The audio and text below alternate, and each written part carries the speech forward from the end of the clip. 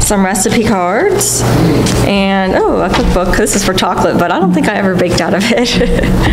But, um, so, uh, I'm talking about, let's see.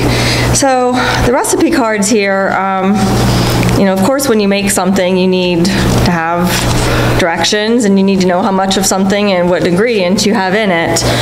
Um, and actually these, um, and then some, you know, like people have cookbooks and sometimes those are handed down generation to generation. Same with recipe cards. Um, you know, some of those, you know, are valued um, and people hand those down and, you know, make, make things that their grandparents made or things like that.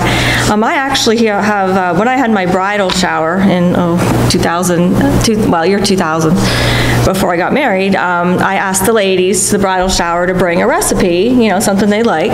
So I actually have still some of those, and I use the no-bake cookies, I still use that one. And some of these I haven't used, or this, the chocolate, there's a chocolate chip cookie recipe. And a blueberry cake, this is from their grandmother, so she makes really good blueberry cake, so that's, that's special. Um, And then I have a recipe uh, box, I keep those in, I also have a bunch of, you know, cookbooks here. So um, it's important when you bake or cook that you have, you know, certain things that you need to, to follow. Um, And, um, uh, you know, you have to have the same, the right ingredients, so nothing's going to taste good if you put too much salt or not enough sugar, things like that. So it's, it's rules to follow. Um, And God gave us a recipe book for life, and that's the Bible. Um, It's, uh, the Bible contains all the ingredients that we need to live a full life of blessings, and God wrote the recipe for us. Um, Just like a baker decides which ingredients to combine for the perfect, you know, treat, whatever, uh, God's determined what we need in our lives to make our lives better. Um, It's important to know that God didn't write the recipe so our lives would be boring or hard to live. God wrote his recipe for life to help us to know how to live happier, healthier lives. Sometimes we think that God's rules are hard to follow.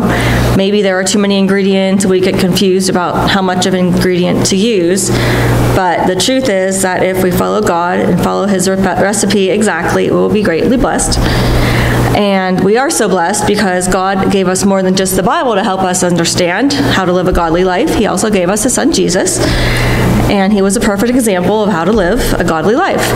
And he sent him to earth to show us how to live and abide by God's rules. Um, and God gathered the ingredients and he wrote the recipe, recipes, and he gave us the rules and he, God sent his son um, as a living example of how to follow the rules. Um, Now he wants us to live our lives the way that he intended, according to his perfect recipe. So if we do that, we'll live lives that are full of God's blessings. Um, So uh, let's pray. Um, Almighty God, thank you for creating us. We are blessed, Lord, that you have given us a recipe for life. Not only have you given us a written set of rules, but you have also given us the perfect example in your Son, Jesus Christ. Help us, Father, to fill our lives with the perfect ingredients, to obey your commands, to follow your recipe, to live a life like Jesus. In Jesus' precious name we pray, amen. And um, the scripture, oh, Okay, the scripture used was 1 John 2, 5 to 6. Um, But if anyone obeys his word, God's love is truly made complete in him. This is how we know we are in him. Whoever claims to live in him must walk as Jesus did. So that's the recipe for life. Amen. Amen.